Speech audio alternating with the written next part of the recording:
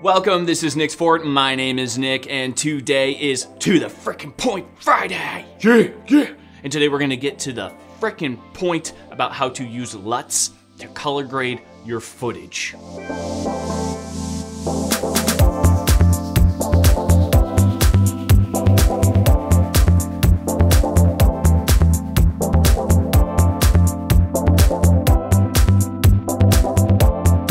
So we are in Premiere Pro here, and the first thing we're gonna do is we're going to right click here, new item, adjustment layer. Boom, bingo. And then we're gonna go up top here and we're gonna select color. And now we are in the color workspace. I'm gonna go ahead and drag this adjustment layer down, put it above the clip that I am color grading.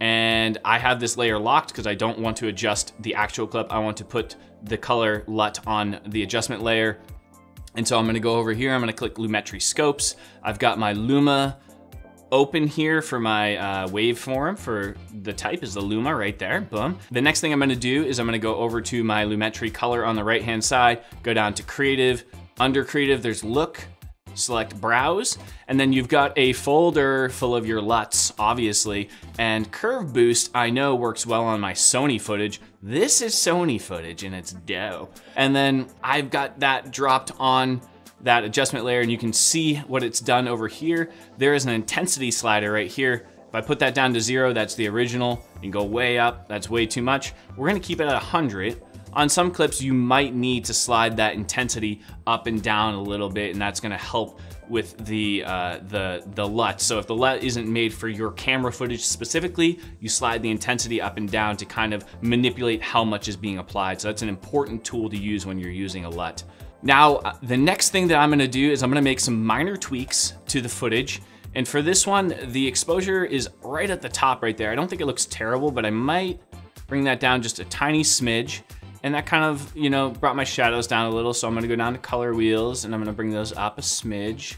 And then I'm gonna actually bring my blacks down, ba basic correction again. I'm gonna bring those down a little bit. And the color temperature, I would adjust the color temperature right here if it was off. It doesn't look too warm or cold to me. Looks like it was properly done for the day, so I'm gonna leave that. And if I needed to, I might do some slight adjustments in the curves, but I kind of like how this looks. I like, like the look out of the box here with the LUT. If I do this FX tab, I can toggle it on and off, see what it looks like, and that's pretty, that looks pretty good to me. So then the next thing I'm gonna do is I'm gonna go ahead, drag that across the rest of my clips that I'm going to be editing, and I'm gonna see how it looks on those. Wow, what a nice face. And then, wow, Another nice face. So like on this clip right here, I might need to make a, a little micro adjustment. So I'm gonna cut the adjustment layer, bum bum. And the micro adjustment is down here. You see the blacks are getting crushed a little bit. So I'm gonna bring those there, okay? And so now we're not losing that information on that clip.